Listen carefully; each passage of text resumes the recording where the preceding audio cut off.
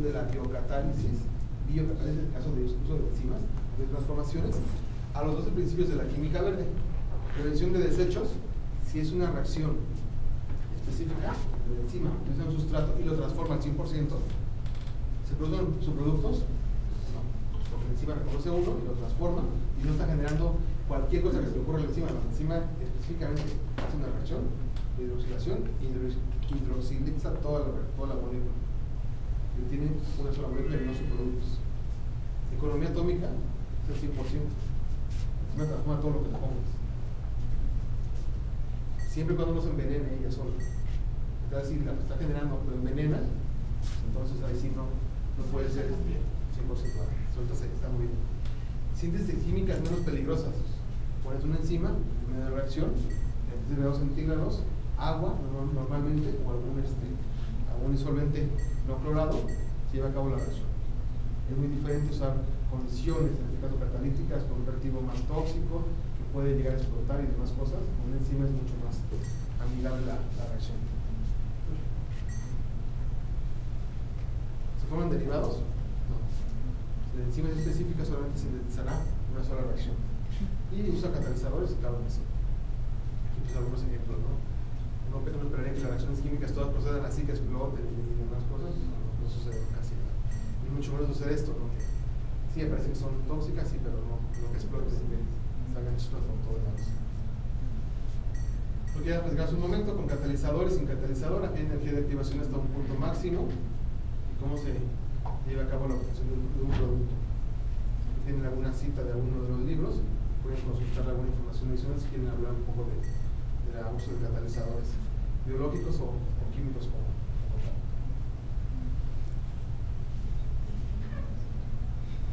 Nada, un momento.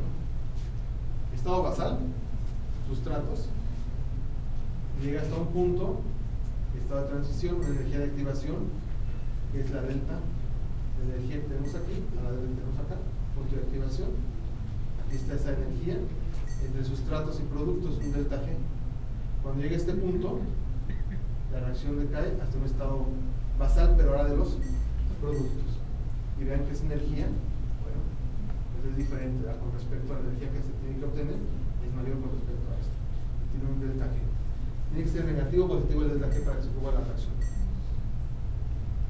Delta G, negativo, ¿verdad? para que se lleve a cabo la reacción. ¿Qué sucede en nuestro caso? Donde una energía que no tenemos, aquí tenemos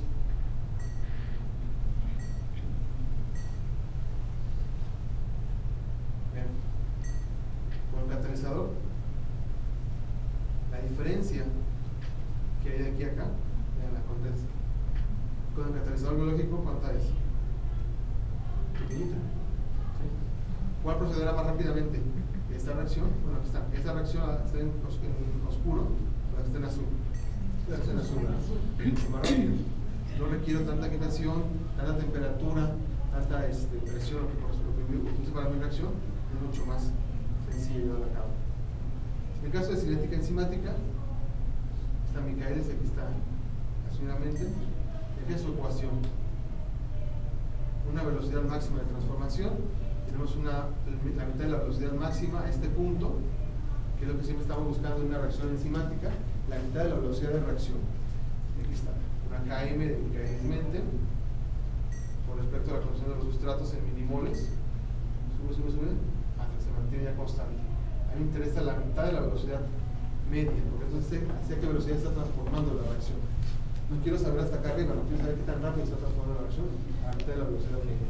Es una ecuación, aquí está, B0, es la velocidad máxima con respecto a la del sustrato, entre constante de Km, más la velocidad, la velocidad del sustrato. ¿Esto lo conocemos? Sí, estoy poniendo un número de sustrato. Calculo la Vmax a través de las coordenadas de reacción y sé cuál es mi concentración en este caso al momento que me interesa saber la, el tiempo de la reacción.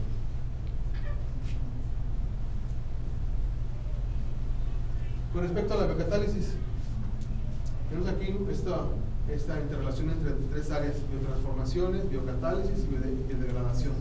¿Serán lo mismo las tres? Se parecen mucho, ¿eh? Se parecen mucho. Entre biodegradación y biotransformación, nuevas enzimas, ambas pueden ser. Biodegradación, si estoy hablando de bioremediación, hablaré de este concepto. Sí, ¿verdad? Si tengo ya un río contaminado con alguna sustancia, la puedo biodegradar, que es lo que todo el mundo dice, estamos, es biodegradable. ¿Se puede biodegradar? Sí, nuevas enzimas. En transformaciones, también puede hacer de transformaciones, algo mucho más este, amigable. Si es tóxico, lo que transforme puede ser a ya no tan, tan tóxico. En transformación desarrollo de nuevos procesos y nuevas enzimas, las moléculas, por supuesto, tienen que ir relacionadas. Desarrollo de reacciones igualmente y nuevas reacciones con respecto a este otro. Modificación de sustratos, mecanismos de reacción, descripciones físicas y matemáticas. Todo esto uno lo pone muy simplista, o sea, la enzima, la reacción sí, pero todo eso lleva una energía de activación, lleva igualmente la enzima, a pesar de que es promiscua, como se llaman todas las enzimas, ¿por qué promiscua?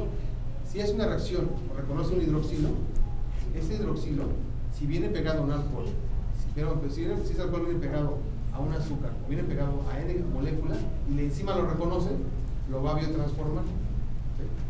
puedo utilizar una enzima, una enzima para hacer cuatro o cinco tipos de reacciones. No es una enzima específica solamente reconozca. Si no viene pegado a un azúcar, no puedo hacer. Viene ese alcohol, viene en condiciones adecuadas de que yo lo reconozca, lo que transformo. Entonces, eso lo llamo por, por lo mismo, porque con cualquiera que se le presente, con cualquiera se enamora lo reacciona. Y así, así lo dice. Así viene publicado el artículo. La promiscuidad de las, enzimas y se refiere precisamente a que son sistemas a su vez complejos, pero que tienen la capacidad de reconocer aquellos sustratos donde esté presente alguna de las estructuras que ellas utilicen para de reconocimiento. Pues por consiguiente, esas, moléculas van a tener la capacidad de reconocer y aplicarse en cualquiera de ese tipo de, este, procesos.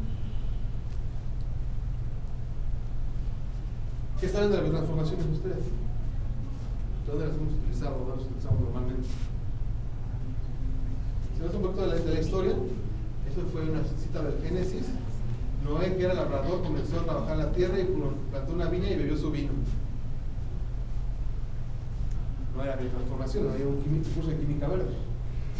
Simplemente lo que él supo era que cuando sacaba aquel jugo de las uvas y se fermentaban, se generaba un vino, algo que se podía beber. No sabía que se llamaba vino, algo que se podía beber. Por acá en otro libro comenta que, bueno, se menciona que Homero utilizó un estómago de cabrito para hacer queso. ¿Cómo se hace el queso normalmente? Leche cuajo, y se, le cambia el pH, se precipita la proteína, se separa, se, filtra, se prensa y se hace un queso. El queso que ustedes gusten y manden, ¿no? Pues bueno, ¿participan alguna enzima? Sí.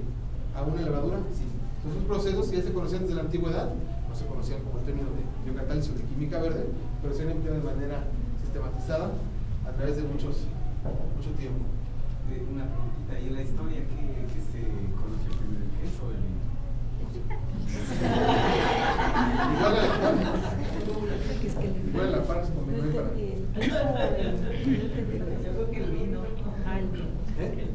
Porque el vino, pues, la pregunta que dice que, que qué se inventó primero, jabón o el, o el alcohol. ¿Jabón o el alcohol? Ajá. ¿Qué se inventó primero? ¿El jabón o el alcohol? ¿Alcohol?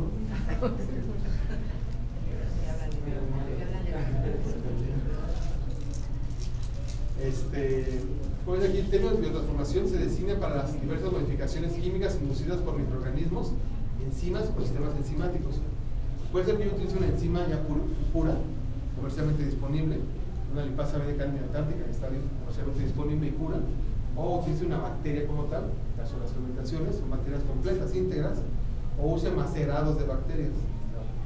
Las, las como las utilice, libera el sistema enzimático y las de los procesos. Pasteur observó con una aplicación adecuada de microorganismos conduce a la manera favorable a la fermentación del jugo de uva. Generó vino de una manera mucho más industrializada. ¿Qué sucedía en su momento? que la generación espontánea era causada por este, de manera espontánea. ¿no? ¿Cómo lo demostraron que no era espontáneo? Que decían, bueno, dejamos un, este, de carne ahí, este, pasan 10 días y aparecen gusanos. Ah, pues, contrariamente aparecieron gusanos. Dejamos esto aquí guardado y espontáneamente apareció después de cinco días.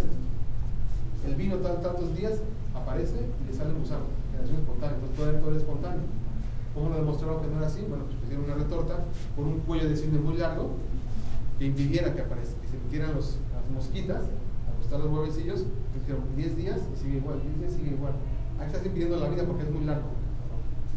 Era muy largo supuestamente el cuello del cisne para llegar a la- contenedor del vino. Entonces una buena parte se descubrió con, con, Luis Pasteur de observar que precisamente había sistemas enzimáticos, no conocían como enzimas ni como bacterias, estaban presentes de manera natural y que producían alguna cambio o transformación. Aún no lo conocían, no sabían cómo se, cómo se las iban a determinar. Conocían que existían, pero nunca las habían descrito. Imagínense si es complicado en nuestros días obtener una proteína como tal, ya para aquellas épo- épocas era mucho más este, difícil. Ella presentó el doctor Miranda este tipo de, de, este, de cervezas, de que ponen aquí también la Club, y aquí ahora, ahora ponen aquí una, una fotografía de la cerveza Club, de aquí de, de Ecuador. Se llama Club, ¿no? Sí, la Pilsner es la Pero la nacional cuál es? Pilsner. ¿Es la nacional? Sí, claro. Y Club. El club, que es una de las. La pizza es más conocida. Ese proceso ya lo conocemos. Como tenemos aquí este, este, este compuesto, piruvato una enzima, TTP y un cofactor, hasta obtener precisamente el etanol que, que buscamos. Eso lo hacemos de manera glucosa, ADP, cofactor, etanol y CO2. Aquí está toda la reacción que normalmente nos lleva a la generación de productos comercialmente este, apreciados, el alcohol, la cerveza, los quesos, los yogures y demás. ¿no? Son reacciones que ya conocemos bioquímicamente bien descritas y con una buena aplicación, como dice aquí, para obtener diferentes productos que puedan ayudar a la vida humana. Azúcares, se realizan en condiciones anaerobias que generan alcohol y con esta misma condiciones anaerobias que genera ácido acético que también está disponible y se generan N cantidad de toneladas de ácido acético. Uno pensaría que el vinagre eh, se usa, que se consume mucho, un po- poco no, no, se consume mucho, mucho. El uso del vinagre es muy fuerte.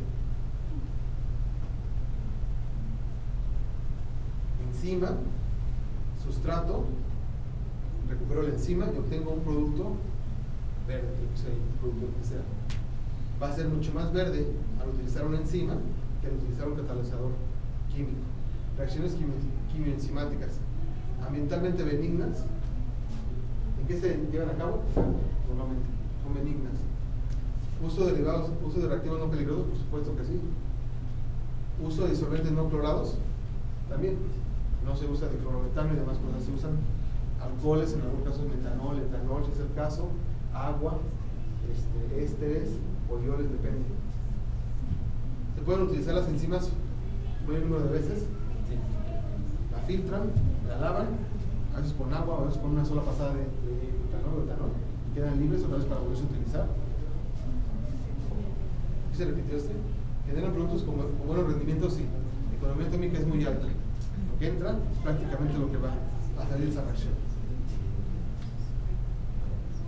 ¿Para qué se usa? Piensen un poquito en qué parte de la industria, en este caso ecuatoriana, participa en esto, véanlo. Cervecería, panadería, jugos, vinos, saborizantes, papel y alimentos. El 29% de esa industria usa enzimas. El papel, creo que sí, para generar el papel, para blanquearlo y demás. La panadería, la levadura ¿no? que hacen el pan, de entrada. Jugos, los fermentos de jugo, que normalmente vienen en los tetrabil, son a a base de fermentos de, de jugos. Vinos, por supuesto que sí. Saborizantes, en los chi- en, las gomas de mascar, en los alimentos, en el saborizante del pan, en el cantidad de cosas que vienen ahí, en las carnes y demás, en los alimentos. Quesos y yogures, aquí está, igual. A mi este, 32% están detergentes. Uno pensaría que no, sí. no lo contrario, los, detergentes ya tienen mucha adición de enzimas, son muy baratas.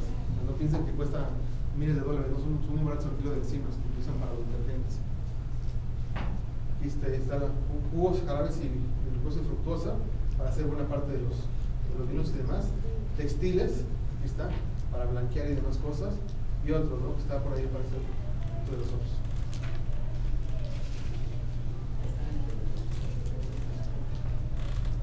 ¿Qué propiedades son las más sobresalientes de las enzimas? ¿Por qué se utilizaron? ¿Qué propiedades tienen las enzimas que han permitido su utilización? Son compatibles con otras enzimas al funcionar bajo condiciones similares, lo que permite realizar reacciones en cascada. Yo puedo poner una, una enzima con otra enzima. Normalmente se aíslan sistemas biológicos homogéneos, tanto las bacterias como los, los seres humanos o, o utiliza, utiliza uno. Esos sistemas enzimáticos están a una condición de, de temperatura más o menos estables y de presión más o menos homogénea. las bacterias tienen el ambiente, viven una presión más alta que la que vivimos nosotros, más o menos homogénea. Eso les permite muchas veces poder interaccionar con otros sistemas, que es lo que sucede en el cuerpo humano.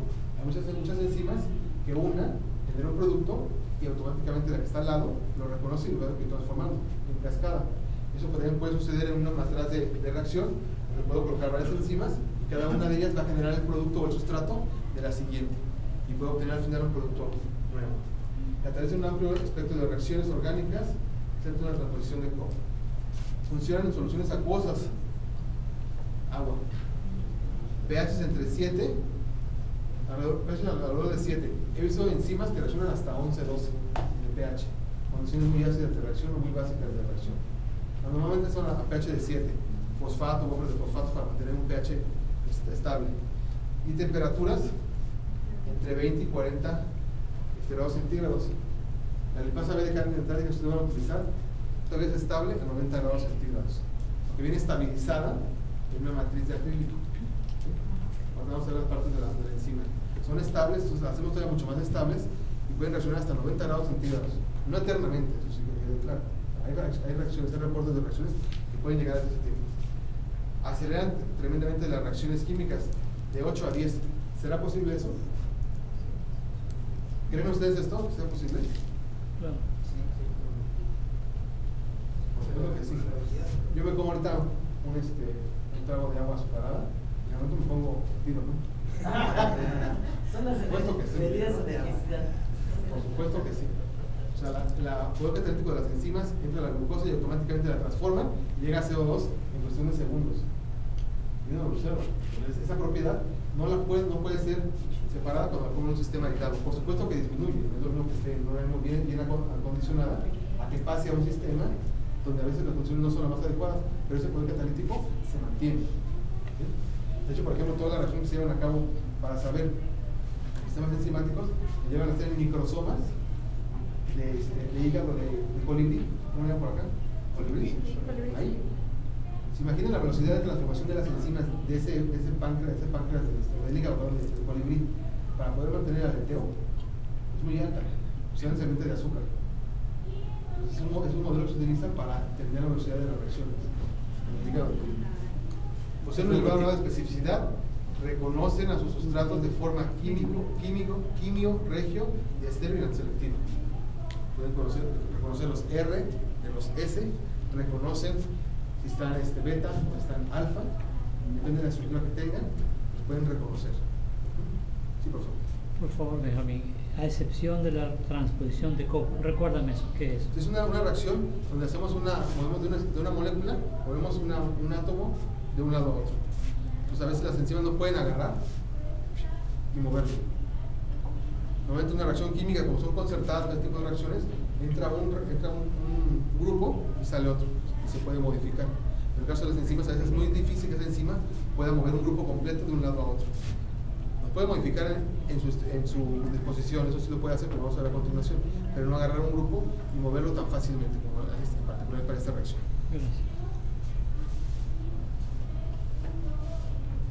¿Qué desventajas? Bueno, pueden ser totalmente este. Son alérgenos. Mucha gente resulta ser sensible o reactiva a las enzimas del medio ambiente. Y no se percatan. Algunas enzimas necesitan para su fu- funcionamiento cofactores. ¿sí? Se sabe que un sistema enzimático como tal en la naturaleza vive o existe, es, tiene un cofactor, puede ser un metal, puede ser un, este, en este caso una, una vitamina C, es otro co- cofactor y demás, para poder llevar a cabo una reacción química. Cuando hacemos una reacción en el laboratorio, ponemos una enzima y esa enzima hay que estudiarlo, hay que saber cómo funciona. Si requiere cofactor, se le pone el club de magnesio, se le pone lo que corresponda para que siga siendo activa. ¿Por qué? El sitio catalítico de la enzima a veces está acoplado a un metal y ese metal lo que hace que la enzima se mantenga en una forma. Si ese metal no existe, pues la enzima se desdobla y pierde su poder catalítico. O sea, que ponerle ese cofactor para que se mantenga estable y pueda llevar a cabo una reacción. Lo vamos a ver a continuación. Su actividad se inhibe en presencia de sustancias inhibidoras del exceso de productos de los sustratos. Lo hace normalmente el, el organismo. Si nuestro organismo está generando un producto, automáticamente inhibe los siguientes pasos. Lo es el organismo. Hasta que se, se elimina o disminuye la concentración, se vuelve a generar otra vez ese producto. Es un control que tiene nuestro organismo para generar un producto, inhibirlo. ¿no? El siguiente paso, cuando este disminuye, otra vez se vuelve a activar. Eso es no- normalmente que suceda. Y en el caso de las enzimas les comentaba, puede ser que el producto que genere sea su mismo veneno, como se le llama la palabra envenenarlas, las envenena y las inactiva. Puede ser, la, la reacción va en ese sentido. ¿Qué se llega a hacer? A veces lo que hacen en algunos, en algunos experimentos es cuando se genera se separa o lo aísla para que la enzima siga funcionando.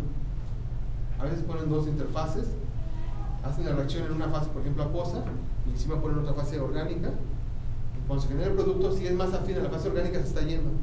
Se está yendo. Entonces, la fase acuosa está libre prácticamente del producto y todo está pasando directamente a la fase orgánica. ¿Sí? Se desactiva cuando salen de condiciones naturales. Tenemos una enzima que aislamos de un sistema biológico, aquí es muy, tiene un poder catalítico muy activo. Cuando la aislamos y la utilizamos, no funciona, no reacciona. ¿Qué le pasa? Es lógico pensarlo, ¿por qué? Tiene una temperatura, tiene un pH, una cantidad de iones, un potencial eléctrico y demás, que le permiten estar en condiciones óptimas. Si yo la saco y la pongo en un matraz, y no le pongo ni cofactores, no le pongo temperatura, no le ajusto el pH, no le ajusto el buffer y demás cosas, aquella enzima pierde su poder catalítico. Entonces hay que conocer perfectamente la enzima antes de utilizarla y arriesgarnos a poderla emplear de manera inadecuada.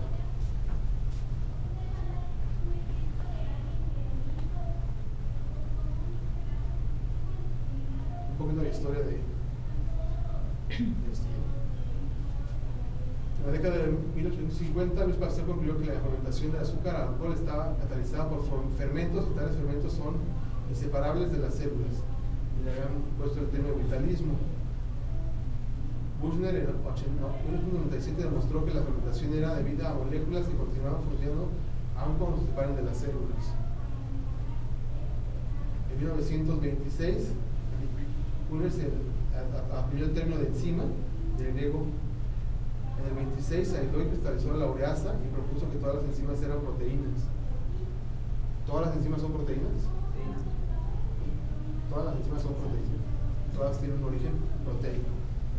En 1930 se catalizó la pepsina y la tripsina. Es un poquito de una muy muy básica. De para acá hay un montón de información al, respecto. Aquí es una estructura tridimensional de una enzima, ahorita vamos a ver las partes de la enzima ya como tal. Hay una clasificación internacional de enzimas. Óxido reductasas, transferencia de electrones, iones hidruro o átomos de hidrógeno, transferasas, reacciones de transferencia de grupos, hidrolasas, reacciones de hidrólisis, transferencia de grupos funcionales al agua, liasas, isomerasas, ligasas. Fórmulas carbono, carbono, carbono, azufre, carbono, oxígeno, carbono, nitrógeno, y interacciones de condiciones nucleares. ¿Qué le falta para hacer una enzima? Prácticamente nada, solamente la versión que olvidamos un. Deshidrogenasa. Tenemos esta acetona, grupos R pueden ser cualquier cosa. NADH como cofactor, un pH específico y obtenemos el alcohol correspondiente más NAD. ¿Para qué se utilizan? Lactobacillus kefir genera R, producto R. Lactobacillus brevis, el factor R. Y los cocos erythropolis, el S. De los grupos que generan aquí, generan el R generan el S, específicamente uno de los dos. R, no hay, no de otro.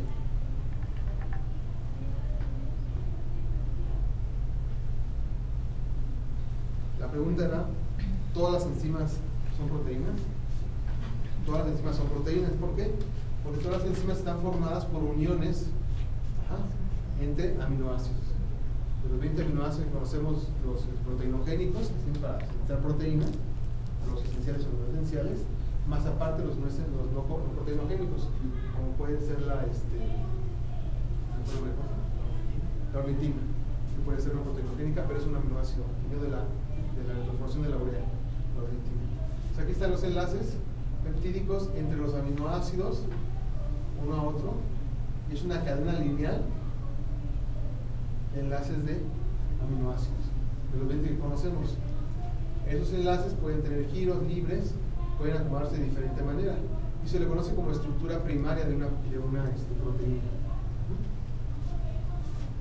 La secundaria, entonces la secundaria va a ser precisamente esa misma cadena de estructura lineal de aminoácidos, pero puede presentar plegamientos. Puede ser lineal, y en un momento un aminoácido se acomoda y obliga a que la cadena se tuerza y empieza a crecer sobre ella misma. Puede ser que al siguiente permita un giro y haga una, una hélice. Entonces empiezan a aparecer diferentes estructuras, aquí ustedes lo ven, lo que parece como un hilito es pura primaria, pero puede ser que empiece a aparecer beta plegada, que sobre sí misma se dobló y creció sobre sí misma. Lo que nunca se pierde es la cadena continua de aminoácidos, pero la forma en que esos aminoácidos se acomoden dentro de la estructura va a permitir la primaria, la secundaria que puede ser beta plegada, o la combinación de primaria con estructura ter- secundaria para la terciaria como está aquí, o esta que se alcanzan a ver aquí donde hay partes de beta plegada, de original y demás combinaciones en cada uno de los, de los casos. Esto es muy importante reconocerlo, ¿por qué? Porque dependiendo de cómo se encuentre esta estructura primaria o secundaria acomodada, permitirá tener una proteína lineal o globular, como es este caso de aquí, o una enzima específica que tenga poder catalítico X. Ustedes, la enzima conocida. ¿Por qué? Por los enlaces que se establecen, imagínense que son aminoácidos. Si por aquí abajo crece otra cadena de aminoácidos, ¿creen ustedes factible que aparezcan interacciones entre este átomo de oxígeno y un átomo de hidrógeno de la otra molécula? Sí, ¿verdad? ¿Anclará la estructura esa, esa interacción? Por supuesto que sí, ¿verdad? Entonces va a permitir que esos acomodos que tiene la misma enzima, que se generaron de manera natural, hace que esa enzima tenga un poder catalítico específico, ya sea que sea lipasa, liasa, lo que corresponda. Si esa enzima ahora la saco y la paso a un sistema externo donde el buffer o el pH cambia, la interacción entre este oxígeno y el hidrógeno que estaba por este lado cambiará. Puede ser que sí. ¿Y qué le pasa? Que esa enzima se naturalice y se abra. Ustedes lo ven, la clara del huevo es transparente, tiene una estructura, es transparente, tiene una cierta viscosidad y demás. Cuando la calentamos, ¿qué le pasa? Se naturaliza. Aquellos enlaces que la mantenían siempre estable, siempre acomodada, siempre de una manera específica, la temperatura contribuye a que esos enlaces se rompan. Se rompen, entonces, ¿qué pasa? Esa proteína se denaturaliza, que es el término utilizado, rompen los enlaces, cambia la estructura y pierde su poder catalítico. ¿Se perderá esta? No, ¿verdad? La lineal no se pierde, por eso la consumimos. Porque a mí lo que me interesa es consumir proteína por la contribución de aminoácidos. Esta no se pierde. ¿Se pierde la secundaria? Por supuesto que sí. ¿Se pierde la tercera? Por supuesto que sí. Ustedes cocen una carne, un caso de carne que es proteína. La cocen, cambia la textura, cambia el color, por supuesto que sí. Pues todo cambia. ¿Y lo puedo regresar otra vez? Bueno. Exactamente. Hay moléculas.